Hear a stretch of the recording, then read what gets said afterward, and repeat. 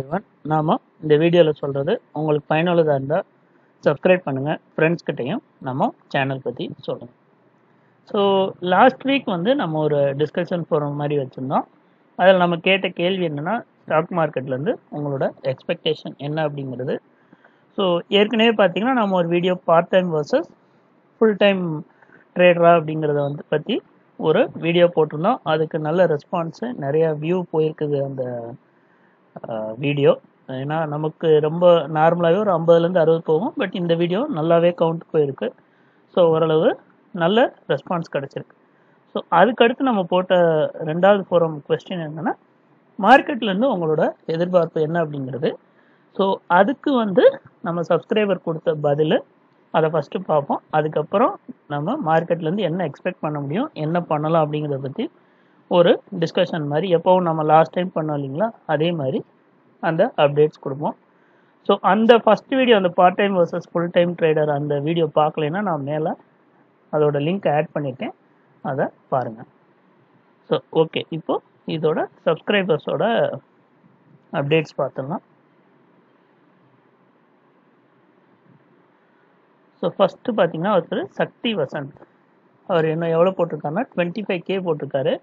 அதுலேருந்து அவர் monthly seven to eight percentage போட்டிருக்காரு. So okay இது வந்து பிட் கொஞ்சம் அதிகம் தான் நம்ம நார்மலாக மார்க்கெட் இதில் வந்து பட் அமௌண்ட்டு சிறுசாக இருக்கும்போது இது பாசிபிள் தான். ஏன்னா seven to eight percentage eight கூட வச்சுக்கிட்டா அவர் எக்ஸ்பெக்ட் பண்ணுறது ரெண்டாயிரரூபா தான். இருபத்தாயிரரூபாயிலேருந்து அது பாசிபிள் தான் மார்க்கெட்டில் பட் ஆனால் இது எங்கே பிரச்சனையாகும் அப்படின்னு கேட்டிங்கன்னா நம்ம இந்த எக்ஸ்பெக்டேஷனை வச்சுட்டு நம்மளோட அமௌண்ட்டு நம்ம பெரிய அமௌண்ட் வச்சு ட்ரேட் பண்ண ஆரம்பிக்கும் போது அப்பையும் நம்ம இதையே எதிர்பார்க்க ஆரம்பிப்போம். அப்போ தான் பிரச்சனையாகும். மற்றபடி வந்து இந்த அமௌண்ட்லேருந்து இவர் போட்டிருக்கிற பர்சன்டேஜ் கொஞ்சம் அதாவது கன்சிஸ்டண்ட்டாக பண்ண முடியாது. ஒன்று ரெண்டு மாதம் டிஃபர் ஆகலாம். பட் ஆனால் இது சாத்தியமான ஓரளவு எக்ஸ்பெக்டேஷன் தான். இது வந்துட்டு. ஸோ இது சக்தி வசந்தோட ரிப்ளை இதுக்கப்புறம் மாணிக்கம் சசி. அவர் என்ன சொல்லியிருக்காருன்னா ஐம்பதாயிரம் ரூபா போட்டிருக்கேன். வீக்லி ஆயிரத்தி ஐநூறுரூவா வந்து ஃப்ரம் பேங்க் ஸ்டாக்ஸ்லேருந்து சொல்லியிருக்காரு. அப்புறம் ஒரு ஒரு பதினஞ்சு ஸ்டாக் மட்டும்தான் அவர் வாட்ச் பண்ணுறாரு அதை வந்து கொடுத்துருக்காரு.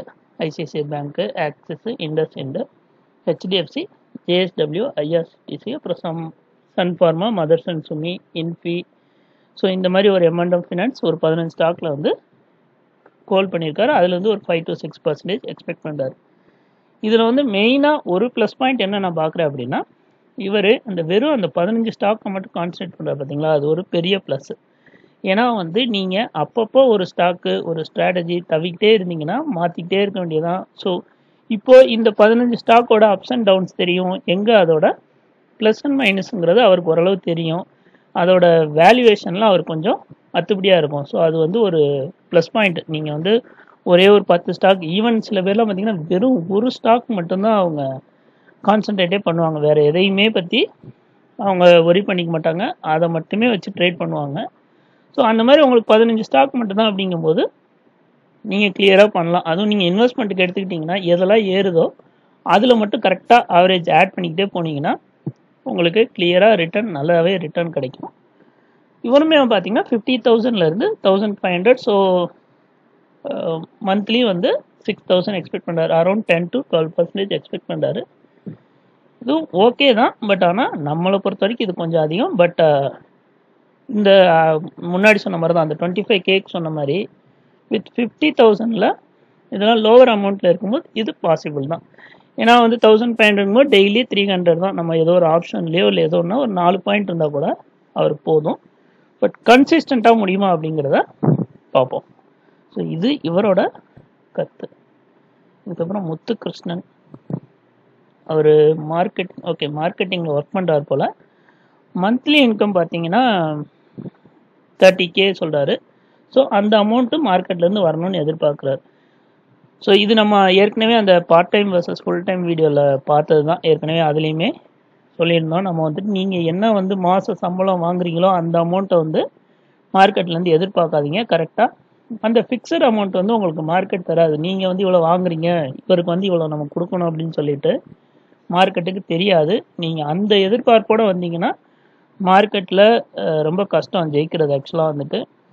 ஏன்னா இந்த தேர்ட்டி கேல உங்களோட கமிட்மெண்ட் இருக்கும் ஆல்ரெடி உங்கள் ஃபேமிலிக்கான தேவைகள் இந்த முப்பதாயிரங்கிறது உங்களுக்கு கண்டிப்பாக அந்த மாத தேவைகள் இருக்கும். ஸோ அந்த ஃபிக்ஸட் அமௌண்ட் எனக்கு மாதம் மாதம் மார்க்கெட்லேருந்து வரணும்னு வந்தீங்கன்னா கொஞ்சம் கஷ்டம் மார்க்கெட்டில் ஸோ அதை மட்டும் கொஞ்சம் கன்சிடர் பண்ணிக்கோங்க வந்துட்டு. மற்றபடி லேர்ன் பண்ணிக்கோங்க. ஓரளவு பேக்கப் வச்சுட்டு அதுக்கப்புறமா நீங்கள் மார்க்கெட்டில் வர்றதுக்கு ட்ரை பண்ணுங்கள்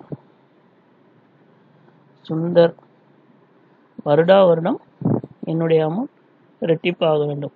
அவர் என்ன சொல்கிறாருன்னா எவ்ரி இயர் வந்து அவரோட அமௌண்ட்டு டபுள் ஆகணும்னு போட்டிருக்காரு.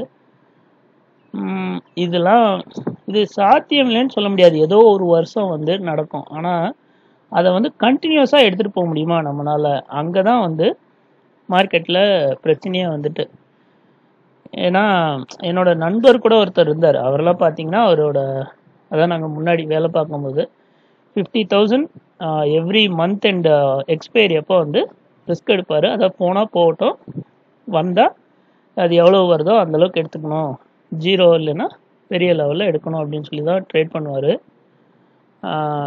நான் போய் சொல்லியிருந்தேன். இதெல்லாம் ரொம்ப ரிஸ்க் அப்படின்ட்டு. பட் ஆனால் ஒரு ரெண்டு லட்ச ரூபா போட்டு ஒரு ஃபஸ்ட் மாதம் இது பண்ணாரு ஜீரோ ஆச்சு. ரெண்டாவது மாதம் ஜீரோ ஆயிடுச்சு அதாவது அப்போல்லாம் பார்த்தீங்கன்னா அந்த வீக்லி இதெல்லாம் கிடையாது. அப்போ நாங்கள் வந்து மந்த் ஆன் மந்த்து தான் எக்ஸ்பைரி நமக்கு. அது மட்டும்தான் இருக்கும். ஸோ மூணாவது மாதம் பார்த்தீங்கன்னா அவருக்கு கிட்டத்தட்ட அது ஒரு த்ரீ லேக்ஸ் டுவெண்ட்டி தௌசண்ட் அது அந்தளவுக்கு வச்சு ஆறு மடங்கு ஏறிடுச்சு அந்த பேங்க் நிஃப்டியோட இது வந்துட்டு. ஸோ அப்போ என்கிட்ட சொன்னார் பாத்தியா வந்துருச்சு அப்படின்னு சொல்லிட்டு சொல்லியிருந்தாரு. அப்புறம் திருப்பி மறுபடியும் அடுத்த மாதம் என்ன பண்ண ஆரம்பிச்சிட்டான்னா ஒரு ஒரு லட்ச ரூபா ஒன்றரை லட்ச ரூபா ரிஸ்க் எடுக்க ஆரம்பிச்சிட்டார் எக்ஸ்பைரி அப்போ.